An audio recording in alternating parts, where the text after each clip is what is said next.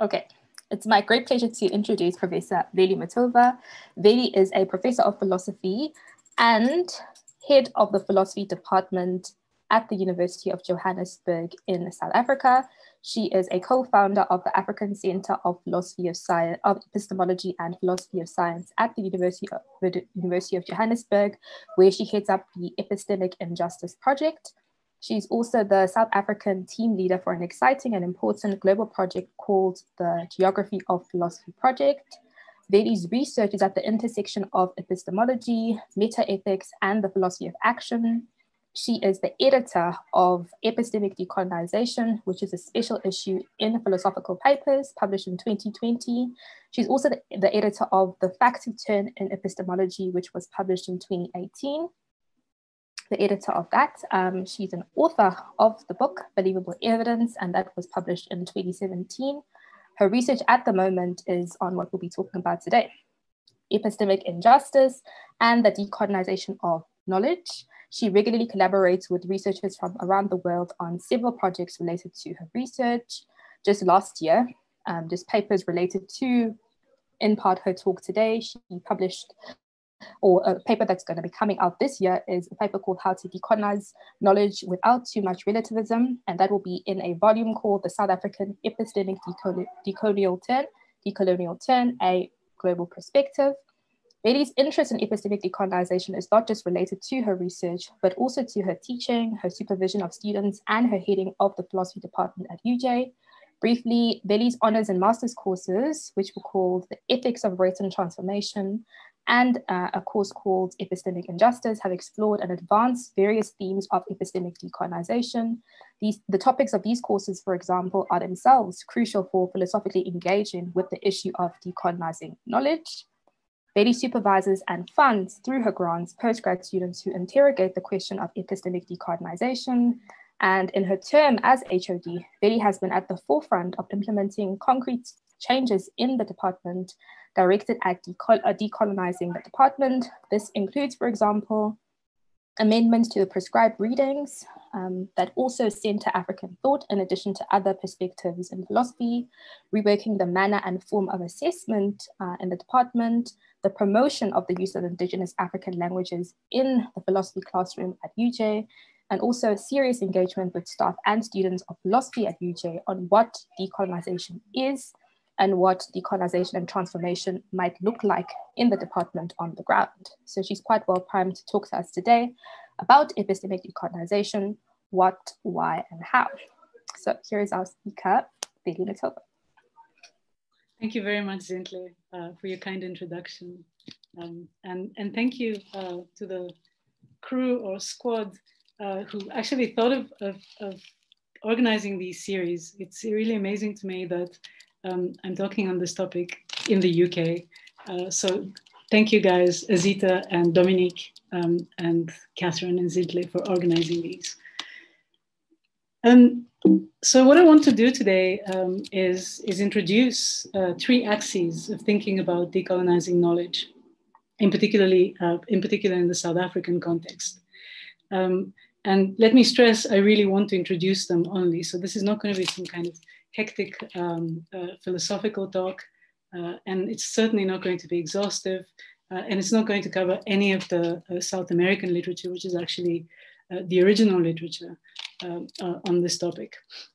So, as you might guess from my title, the, top, the, the, the three axes are what decolonization is, why we should decolonize knowledge, how we should do so, and, and let me just be quite clear that there's one question that I will not discuss, uh, and this is whether we should. So uh, decolonize. As, as you can see, that ship uh, has already sailed.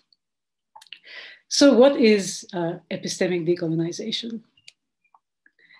I think that that's to, to get what, what it is, uh, uh, we need to, to think about the, the topic on the background of, of what the mechanism, uh, mechanisms of epistemic colonization uh, were. And I find uh, Kwasi Wiredu's uh, uh, very helpful um, uh, triple kind of origin kind of diagnosis of, of, of the mechanisms, um, he says that epistemic colonialism happened through language, religion, and politics. So um, language, of course, because uh, every language goes with a conceptual framework. And so if you impose your language on me, then you're imposing, imposing your way of thinking um, on me. Um, religion, we all know about the civilizing mission. Uh, so the idea that there are these heathen souls in need of saving and civilizing. Uh, and politics, well, you know, I assume I don't, I don't need to uh, spell that one out. Now, um, some people live in a, in a happy world in which they think that, that we're actually in a post-colonial society. Uh, and that's far from, from, from the case. Uh, we're very much still in, in the uh, epistemic uh, colonial era. Um, and I'm not sure if you can see these because of the, the pictures, uh, but, but basically we're still very much uh, in a world in which colonialism is enforced through language, uh, so some people uh, are expected to always communicate in, in not in their first language, but in the second one. So they're always at a disadvantage. Uh, through our education system, through uh, economic discrep discrepancies in, in power, um, and uh, through uh, still prevalent institutional culture of racism.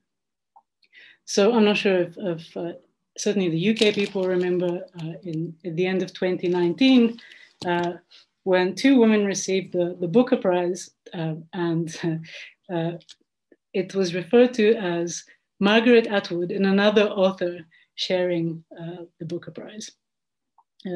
So here's what the other author, Bernardine Evaristo, said about the issue. Um, well, she said, how quickly and casually uh, I can't read this, sorry, because my screens are here. Let me just close them. Apologies. Uh, how quickly and casually they have removed my name from history, the first Black woman to win it. This is what we've always been up against, folks. Uh, so colonialism is very much uh, alive and well, and certainly its epistemic version is very prevalent, uh, both in South Africa and worldwide. So, okay, so what is, uh, against this background, what is epistemic decolonization?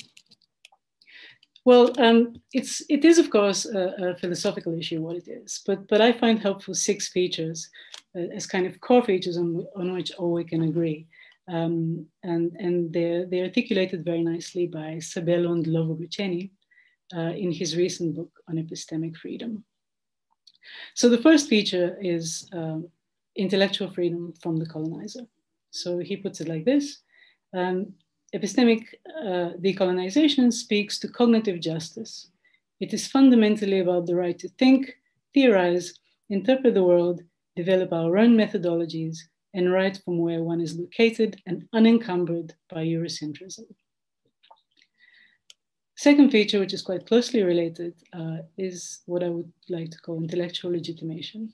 So in the African context, and remember, I'm only talking about the African slash South African context, uh, this is an intellectual and academic process of centering Africa as a legitimate historical unit of analysis, an epistemic site from which to interpret the world, while at the same time globalizing knowledge from Africa. So the idea here is that instead of uh, being an anthropological subject, um, Africa is a source of knowledge uh, and, and, and something that the rest of the world uh, can, can learn from. The third feature uh, of epistemic decolonization is uh, what we could call knowledge legitimation. And, and this involves the move away from thinking about knowledge in the singular uh, to thinking about it in the plural. So the move from knowledge to knowledges. Uh, so the, the idea that we should recognize various uh, knowledge systems as legitimate. The fourth feature um, I, I call no more civilizing, um, and Ndlovu uh, says it's, it's basically the idea that we need to, need to demythologize the idea of Europe as a teacher and Africa as a pupil. Fifth feature, no more race hierarchies. Uh, since part of the epistemic injustice of colonization is entangled with social power and race, uh, then epistemic decolonization requires us to correct uh, the distorted human relationships that emerged from the social classification uh, of human species and their racial hierarchization. And final feature, and something that, that gets quite often omitted from these discussions, that, that epistemic decolonization is basic to political and economic transformation. So we can tell ourselves all sorts of stories uh, about a transformed society, a, a, transformed education system.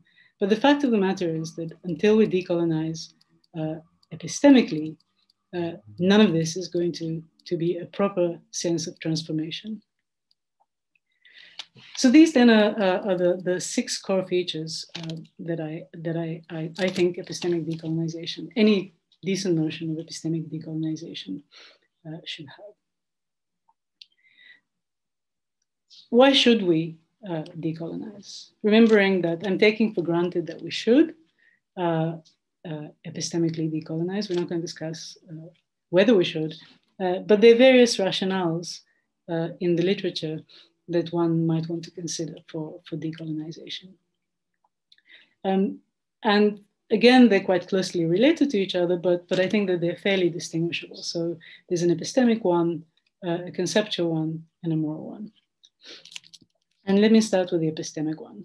Uh, uh, I should say that, that I find it probably the least plausible, uh, but, and I'll tell you why. So the epistemic rationale um, starts with the idea that, that colonialism has committed epistemicide um, by giving itself sole authority to say what counts as knowledge, rationality, and so on, and silencing other epistemic perspectives and knowledge systems uh, as non knowledge. So I think we're all familiar with the phenomenon where some of us uh, are rational, whereas others are emotional, especially when we say no, uh, irrational, mystical, and just generally in need of cognitive upgrading and civilizing. Um, similarly, that same perspective says what counts as science and non-science. So this is uh, not science, uh, and uh, this is science, presumably because it involves a sharp instrument. Uh, and closer to home, in the philosophical context, uh, it gets to say uh, it gets to say who counts as a proper philosopher and who doesn't. So this guy over here is supposed to be a psychologist and anthropologist, whereas this crazy guy over here with, uh, with whatever this is, banjo or whatever, is a proper philosopher. And whatever questions he asks are properly philosophical, whereas questions about race uh, and so on are not. So of course, this is all uh, a, stereo, a, stereotype, but, but I'm just trying to, uh, to drive the point home. Uh, so colonialism has committed epistemicide, uh, the, the epistemic rationale goes. And so decolonizing knowledge requires at a very minimum that we need to give different uh, epistemic perspectives equal epistemic authority. Uh, what do we mean by this? We mean basically that, that each of these perspectives is going to be restored an equal claim to constituting genuine knowledge. So here's an author in the, in the context of, of uh, the decolonization of the South African curriculum uh, who says, in advocating for the reversal of epistemicide, excuse me, we necessarily seek to place indigenous knowledge systems of the concrete peoples of South Africa on the same level of parity with other epistemological paradigms in order to achieve uh, both formal and substantive equality. So this is an example of someone endorsing this rationale. Now I say that um, I don't find this rationale particularly plausible. Uh, and I think it's because it's, it's profoundly relativistic, um, uh, although there are ways of spelling it out without relativism, but certainly the way I have spelled it out here is relativistic. Um, and um, I know that uh, there are a couple of respectable relativists in the audience uh, but let's let's uh, just say that relativism faces familiar problems, uh, and one of them is that equal epistemic authority is a very dubious basis for for running a successful a successful scientific enterprise.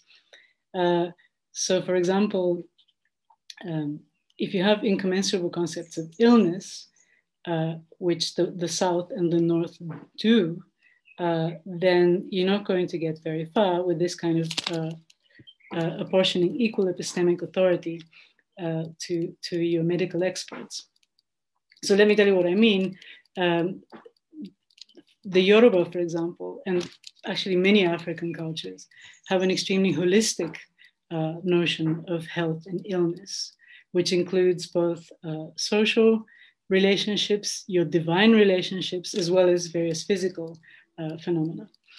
So then, if you have uh, the southern concept of illness and the northern concept of illness, uh, you get situations in which in which uh, these two statements there won't be a fact of the matter if relativism is right who is who is correct between us, right? So if I say that Bob is ill and I'm using the northern concept um, of illness, and you say that Bob is not ill and you're using the southern concept of illness, relativism would say that there's no fact of the matter who's right, which presumably uh, is not a great uh, basis for medical diagnosis.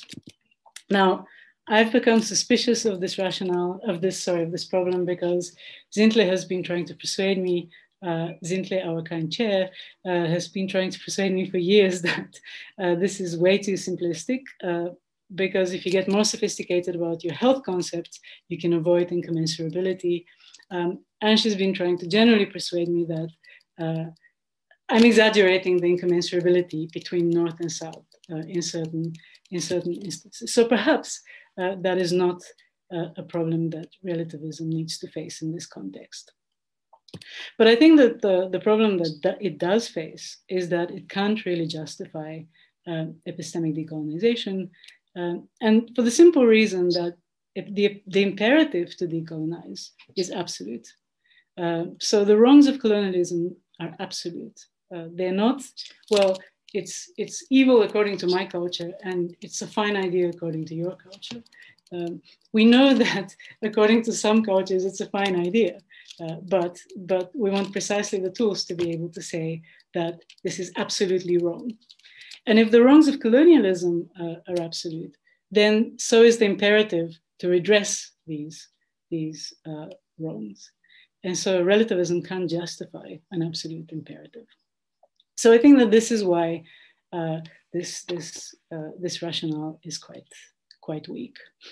But there are two much stronger rationales uh, for epistemic decolonization. And the first one uh, is, is due to Kwasi Wiredu and Ngugi wa Thiong'o. Uh, I'll just focus on, on Kwasi Wiredu because I have a preference for philosophers. Uh, uh, and his, uh, his target is to show that conceptual um, or linguistic decolonization is essential to epistemic decolonization. Um, what does he mean by conceptual uh, decolonization? He takes this to have a, a negative program uh, and a positive program. And the negative one is the elimination from our thought of modes of conceptualization that came to us through colonization, sorry, through colonization and remain in our thinking owing to inertia rather than to our own reflective choices. Uh, whereas the positive program is exploiting as much as is judicious the resources of our own indigenous conceptual schemes. So that's how he conceives of, of conceptual decolonization. And, and then the rationale for, for epistemic decolonization that stems from, from, from this conceptual uh, decolonization goes something, well, it doesn't go something like this. This is a direct quote from him. Um, he says, languages carry their own kind of philosophical suggestiveness which foreign as well as native speakers are apt to take for granted.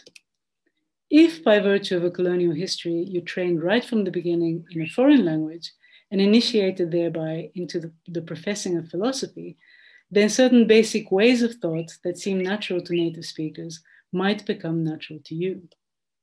Consequently, you might not even realize that those ways of thinking may not be all that natural. Or if your own language is radically different, even coherent from the stand, standpoint of your own language.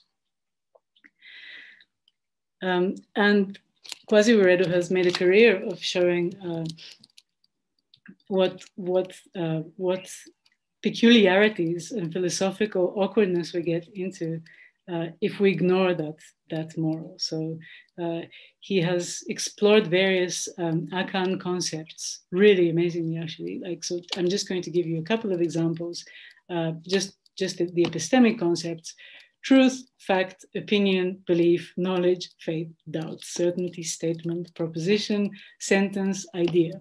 So basically, I challenge you to to uh, uh, to to find one.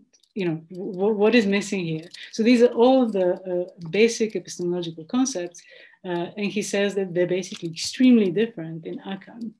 So much so that certain questions um, that we in analytic and Anglophone epistemology take for granted completely don't make sense.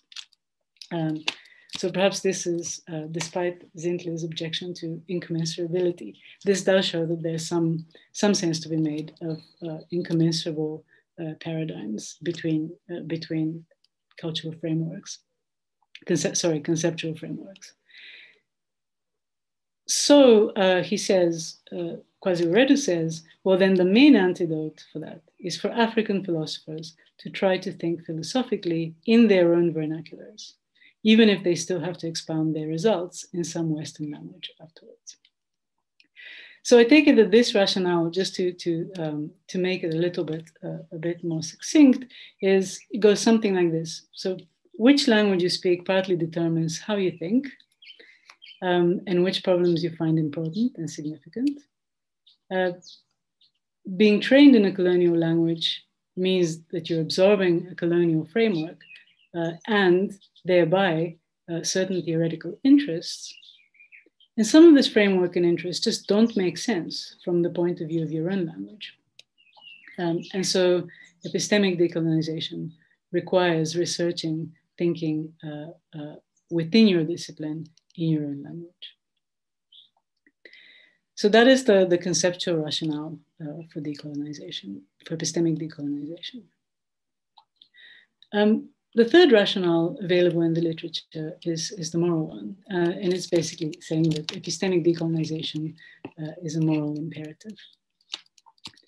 Um, well, why? Because colonialism, and this, this comes quite close to the, to the epistemic rationale, but, but, it's, but it's different, as we'll see. Um, the reason is that colonialism has inflicted epistemic injustices uh, that need to be redressed. Uh, what are those? To use the language of, of uh, social epistemology and Miranda Fricker in particular, uh, it's the idea that uh, colonialism has wronged people in their capacity as knowers, as producers of knowledge, as conveyors of knowledge, uh, and so on. Now, you can take this with a pinch of salt. Um, the epistemic injustice concept is a problematic one. It was only um, about a month ago when uh, Lewis Gordon was giving a talk at, the University of Johannesburg. Uh, we had a fight on this topic because he thinks that uh, the notion of epistemic injustice is a white woman notion and it's kind of um, uh, appropriated actually from far more sophisticated black feminist resources. Um, point well taken. Uh, call this whatever whatever you like. That that bit where the yellow line is. Uh, I'm not particularly uh, sold on, on this way of cashing it out, as long as it's understood that some form of injustice, uh, which has a, a, distinctively epistemic dimension, has been inflicted um, through colon by colonialism, uh, and that this needs to be redressed. So that's all we need for the moral rationale uh, to go through. Um, as a matter of fact, uh, some of the people who, who think, who, who, push this rationale, such as my colleague from WITS, uh, Edwin Etieyibo, uh, do find the notion helpful the way Fricker spells it. So, so let me just focus on that. But again, you can just fill in um, uh, the notion with whatever you whatever you prefer and doesn't doesn't annoy you with white white woman stuff. So okay, so the one liner uh, that uh, Etieyibo argues for is that, um, and this is in the context of of the uh, of, of, education and curriculum, is that Africanizing the curriculum in universities in Africa is a moral imperative on both the Kantian uh, and the utilitarian uh, paradigm. So by Africanizing the curriculum, he he means uh, intuitively enough uh, the appropriation, adoption, and incorporation, incorporation into the curriculum uh, of the experiences, practices, beliefs, values, and ways of, ways of life of sub-Saharan Africans. Um, and he, he takes this to, to have two, uh, two uh, modes or two, two varieties. One is a radical kind of appropriation, uh, and the other one is a moderate one. So on the radical uh, idea of Africanizing the curriculum, uh, we would just basically throw out uh, every every Western influence and, and content from our curriculum and modes of modes of teaching. Whereas on the moderate view, we would we would have more of a, an amalgam of of all sorts of traditions, and, and he defends the moderate view. So he thinks that the moderate uh, Africanization of the curriculum is a moral imperative on both the Kantian and the utilitarian uh, views. So how does he do that? Um, well, on each model, he argues, not Africanizing uh, the curriculum actually wrongs Africans. Um, and the moral wrong in the Kantian view is to do with, with issues of autonomy. So he takes the so he takes the crucial Kantian notions, the uh, uh, one, the, the, one of autonomy, uh, and then argues that promoting or respecting people's autonomy involves not depriving them of the conceptual resources to make sense of their world. Um, and I mean, I, I, think that's it's it's fairly obvious, but let me spell it out. So, autonomous choice uh, is is choice in accordance with what the agent takes to be a rational representation of the world, and so he says, but such representation requires that one is in a position uh, to access the resources essential for meaning making. Um, so, so not teaching uh, African thought deprives Africans of conceptual resources, precisely such conceptual resources of meaning making. Um, and he gives the example of Ubuntu, uh, which is which is essential to both uh, African ethics and, and metaphysics because because it, it forms part of, uh, of many notions of personhood. And this is the idea that you're a person through other people. Um, and so if you, if, you, if you deprive African students of this concept, then you're basically not allowing them to understand their world in a way that they're supposed to be uh, understanding it. Uh, you, you're cutting out a portion of, of, metaphysics for them and of ethics that they should be, they should be uh, uh should have access to. Um, and the fancy label for that, label for that uh, again from, from Miranda Fricker, is, is hermeneutical injustice. When you, sorry, not for Ubuntu, but for when you deprive someone of the resources uh, to make sense of, the, of, of their world. Um, so uh, Etieyibo concludes, not teaching African thought is a failure to promote uh, or respect Africans' autonomy. And that's the sense in which uh, not Africanizing the curriculum wrongs Africans. Um, similarly, on, on the utilitarian view, um, he argues a non-decolonized curriculum commits testimonial injustice against Africans.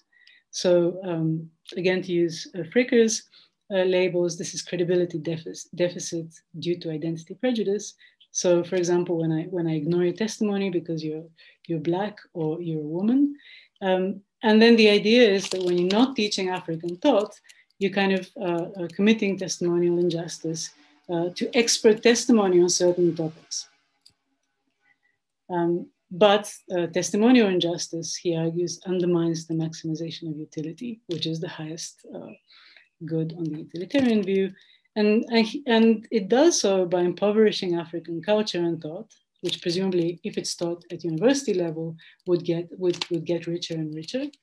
Um, it deprives Africa of the opportunity to contribute to the world's knowledge production. So if you remember, one of the features of epistemic decolonization was the idea that, that, Africa's knowledge needs to be globalized, so that Africa is not just a, an anthropological uh, object, but is also a source of knowledge. Um, and finally, it impoverishes philosophy uh, in particular, uh, because because Africans African perspectives uh, would would enrich it. So, so he concludes a non-decolonized curriculum wrongs Africans by failing to maximize utility. so, so these are the three rationales. Um, the, the, epistemic rationale, which I, which I argued was relativist uh, and therefore implausible. Uh, the conceptual rationale uh, on which we need to decolonize language uh, and, and the language of instruction, certainly at universities. Uh, and finally, the, the moral rationale, which has to do with considerations of justice. So how, uh, so here's the million dollar question, right? So enough, you know, there's plenty theorizing. How should we uh, decolonize knowledge? Um, and if you're looking for a million dollar answer, you're not going to get it. Uh, but, but let me at least model something, something on, on Wiredu's conception of, of linguistic or conceptual decolonization. So this is going to be a scheme, uh, and then and then I'll, I'll, get a little bit meatier uh, uh, after I've introduced it. So so if you remember, Wiredu's uh, uh, conceptual decolonization involved two programs: a negative program uh, and a positive program. Um, and if we're going to model epistemic decolonization on that, let me rephrase. So the negative program is going to consist in the elimination of epistemic practices, in other words, ways of generating uh, and passing knowledge that came to us through colonization and remain owing to inertia rather than to our own reflective choices. Uh, note this is quite, quite a moderate conception uh, as I phrased it, uh, because we could just stop uh, at the, red, the second red bit and we can say that came to us through colonization, uh, full stop. Um, uh, but this is this is Wiredu's uh, uh, conception of the negative program uh, in any case. Um, and then the positive program would involve the exploitation of, of uh, again, the moderate bit here, as much as judicious, the resources of our own indigenous knowledge systems and epistemic practices. So again, this is just a, a, a schema, a husk, uh, in which we would need to plug in a whole lot of ideas of what this means elimination of epistemic practices, uh, exploitation of resources, and so on. Um, and I'm going to focus on the, on the negative program, uh, this being the, the easy one, I think. So, and, and again, let me, let me just focus on academia. I have been kind of uh, silently doing so anyway, but, but let me make that explicit. Uh, so, so let's just talk about uh, how we can decolonize uh, knowledge in the in, in the academic or how we can decolonize academia. And are various views that fall on a spectrum. Uh, um, and we can, I mean, so on, on the one end of the spectrum, uh, there'll be a kind of band-aid approach, uh, which it's not even on the spectrum of decolonization, hence I haven't put it really on the spectrum. Uh, and, and then on the other extreme, it would be uh, completely getting rid of, of all Western influences, Western canon in the um, in this in, in our curriculum and so on. Um, and, and in the middle, there'll be something like, for lack of a better word, uh, knowledge diversity, where we where we uh, draw on on all traditions uh, available to humanity. And so this is the this is the spectrum uh, uh, along which one can think of decolonizing, of how to decolonize uh, knowledge. And we can do so uh, at least along six dimensions, six aspects of, of academia, uh, five of which I'm, bo I'm borrowing from, uh, from Thaddeus Metz. Uh, the curriculum, our research, our language, the language of instruction uh, and research, the aesthetics of academia, governance, and cultural practices. Um, and we can have for each of these, uh, we can have various, variously uh, moderate to radical conceptions. So we can have, we can think that the curriculum can, can uh, just be a Western curriculum, obviously not on the, that's not on the spectrum of epistemic decolonization, uh, through to knowledge diversity, uh, to uh, completely uh, no Western content. Uh, and likewise with all of the other dimensions. So governance, we can uh, have a, a, anything from diverse kind of um, governing body to uh, entirely non-Western uh, influenced body. And I want to focus on, on these three aspects, the curriculum, uh, aesthetics, and cultural practices. So the curriculum, uh, the band-aid approach is, uh, would be something like, and in South Africa, a lot of previously white universities are familiar with this approach and tried it for years. So it's, it's basically, you introduce a few African authors uh, and then and then you're like, okay, we've done our job and we get our grants and, and that's fine. Uh, and that's obviously no good. I mean, it's uh, it's it's possibly even worse than than not doing anything at all uh, because it kind of creates the impression that that you're doing something and so keeps everyone happy uh, uh, and, and nothing actually happens substantively speaking. so that's why I've, I've left this out of, of the spectrum of genuine epistemic decolonization. Uh, knowledge diversity uh, is, is, is the more uh, uh usual approach uh, and probably favored at the moment. Uh, and that is, again, to, to restore kind of equal epistemic authority to different knowledge systems. Um, and let me mention some challenges. the first one, perhaps it, it's relativist, but, but probably not, because uh, if we just mean that we're teaching various traditions, uh, we're not making a, a, genuine claim to, okay, and now we have these incommensurate truth claims. So I don't think that relativism uh, is, a, is a genuine problem here. Uh, but I think that knowledge diversity might not be enough uh, for a genuine uh, conception of decolonization. Um, it's, it's a kind of invitation to sit at our table with the attendant othering and, and uh, retaining for certain people always the status of guest, I think. So when, so when the institution is already established in this way, uh, inviting people to sit at your table is, is uh, a bad idea actually, because uh, actually we need to like change the table altogether. So that's, so that's, that's some, some worries about uh, knowledge diversity. Um, the, the most radical view uh, concerning the, the curriculum uh, would be to um, teach only original decolonial content. Uh, and again, it's not without challenges because there's such entanglement between, uh, for example, African thought in the Anglophone world and analytic philosophy thought. Uh, and, and because it's, it's all done in, in, in English, uh, there's, there's also an entanglement with the conceptual frameworks and so on of, of colonialism. Uh, and I know that uh, mentioned the Geography of Philosophy project, but some, some colleagues in, in Peru, for example, who, who are doing research, uh, they, they had to go in the middle of, of the Amazon jungle, like literally, to find uh, Quechua speakers who don't speak Spanish as well. So, so, so uh, it might be uh, it might be seen as a challenge for this completely out with the West uh, approach, whether it's, it's really possible to be completely out, out with the West at, at this stage. Um, and then one might think that, that we, we could lose potentially uh, useful tools if we, if we just get rid of everything. So, so, so much for the, for the curriculum. Um, let me just have a look. Okay. Um, the aesthetics um, uh, aspect, and it's not talked about very often, this is my university. Um, and those of you who, who uh, love brutalism are probably have never seen anything this beautiful.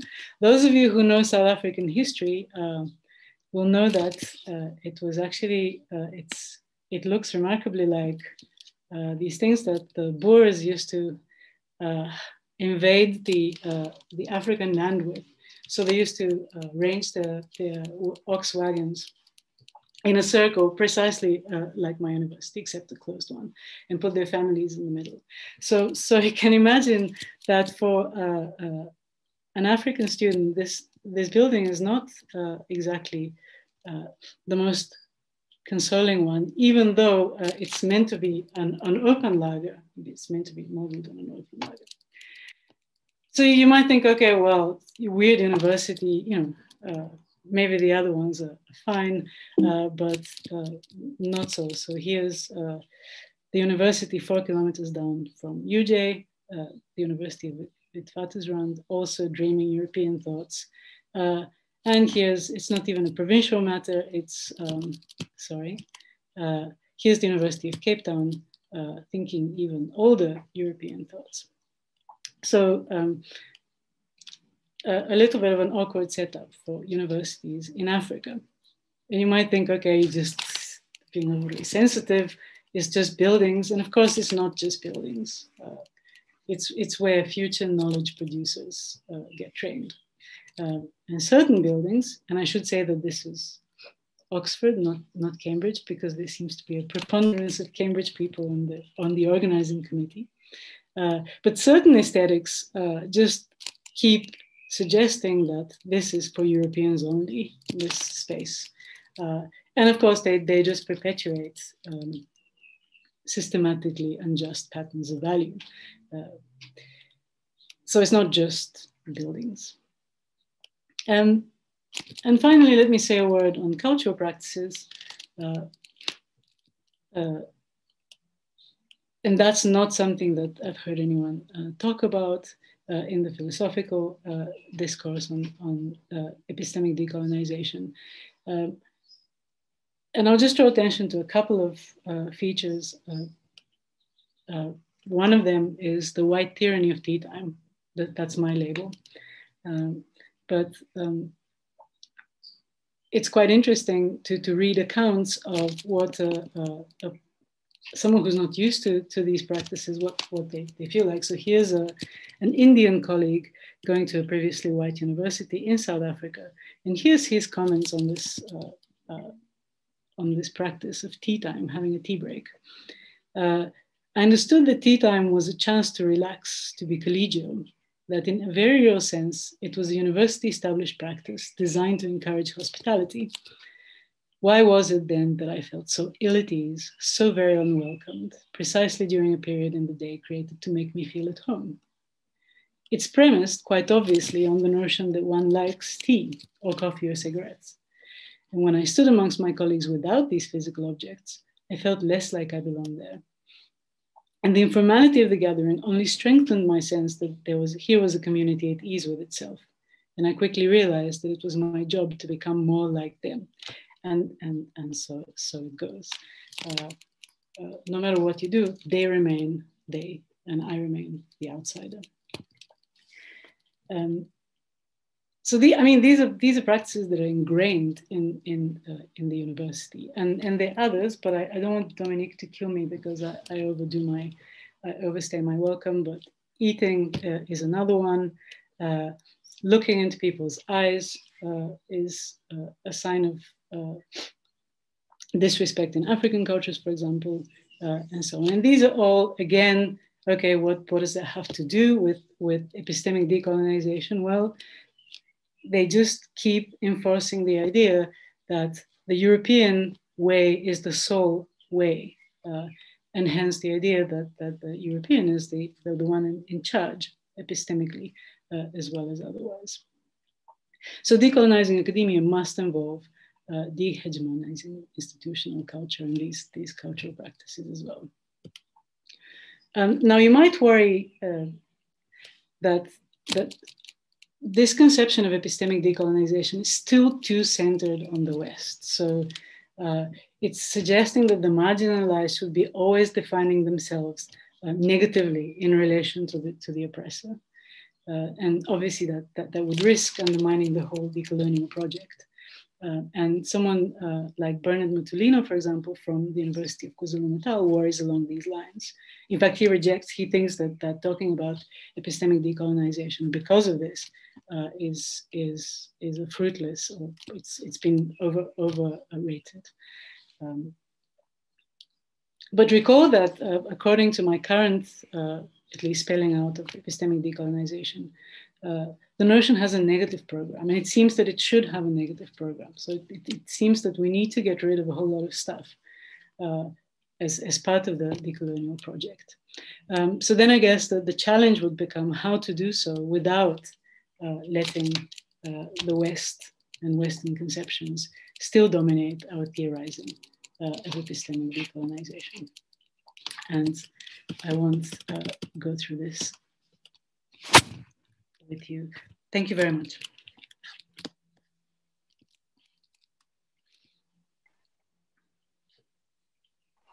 Thank you, Veli, for your presentation.